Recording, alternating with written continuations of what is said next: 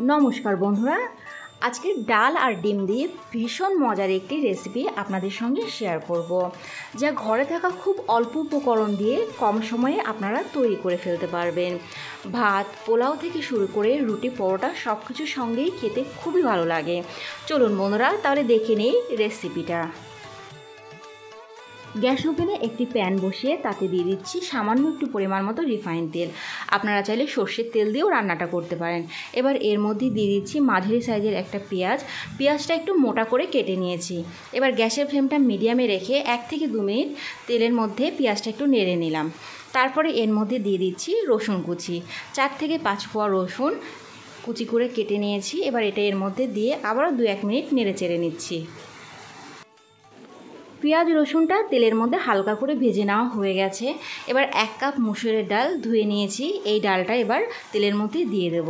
পেঁয়াজ রসুনের সঙ্গে খুব ভালো করে এবার মিশিয়ে নিতে হবে। তারপরে এর মধ্যে দিয়ে দিচ্ছি হাফ চামচ পরিমাণ মতো হলুদ গুঁড়ো আর হাফ চামচ পরিমাণ মতো নুন।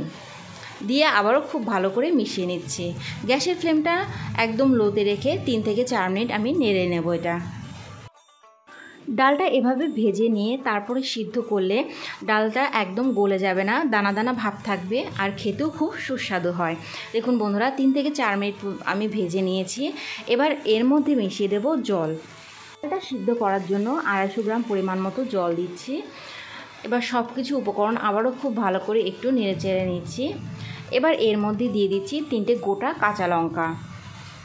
এবার সিদ্ধ করার জন্য ডালটা আমি ঢেকে রেখে দেবো। তবে আপনারা খেয়াল রাখবেন, ডালটা যেন একদম সিদ্ধ হয়ে মিশে না যায়। ডালটা একটু দানা দানা যেন থাকে। অন্যদিকে গ্যাসের চুলায় আমি পাঁচটা ডিম সিদ্ধ বসিয়ে দিয়েছি। এই ডিম পাঁচটা খুব ভালো করে সিদ্ধ করে নিতে হবে। দেখুন বন্ধুরা, আট থেকে দশ মিনিট পরে ঢাকনাটা খুলে দিয়েছি, ডালটা খুব সুন্দর সিদ্ধ হয়ে গেছে। এবার গ্যাস ওভেনে আর একটা কড়াই বসিয়ে তাতে দিয়ে দিচ্ছি সামান্য একটু পরিমাণে তেল।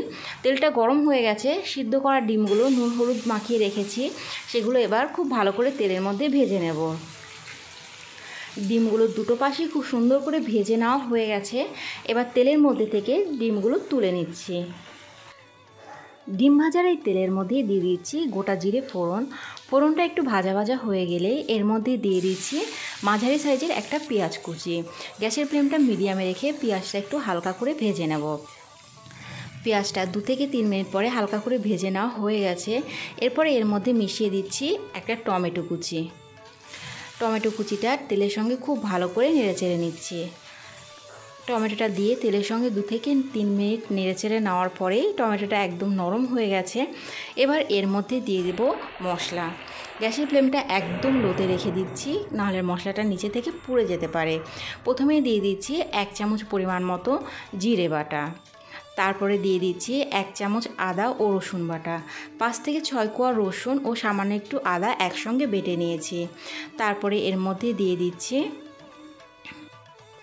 হাফ চামচ পরিমাণ মতো হলুদ গুঁড়ো আর হাফ চামচ পরিমাণ মতো লঙ্কার গুঁড়ো।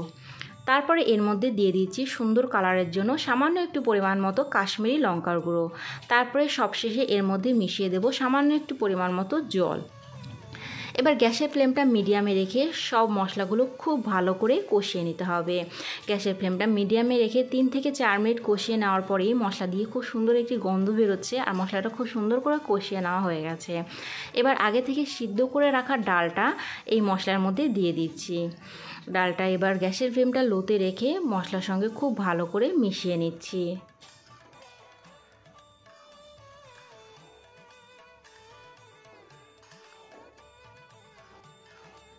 ডালটা খুব সুন্দর করে মশলার সঙ্গে মিশিয়ে নেওয়া প্রায় হয়ে গেছে।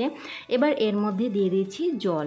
জলের পরিমাণটা অল্পই দিতে হবে কারণ এই ডালটা খুব বেশি পাতলা হবে না, একটু ঘনই হয়। এখানে আমি প্রায় এক গ্লাস পরিমাণ মতো জল দিয়ে দিয়েছি। এবার খুন্তির সাহায্যে জলের সঙ্গে খুব ভালো করে ডালটা মিশিয়ে দিচ্ছি।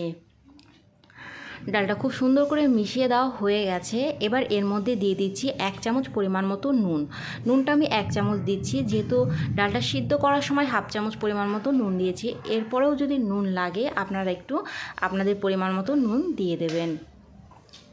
তারপরে আগে থেকে ভেজে রাখা ডিমগুলো ডালের মধ্যে দিয়ে দিচ্ছি।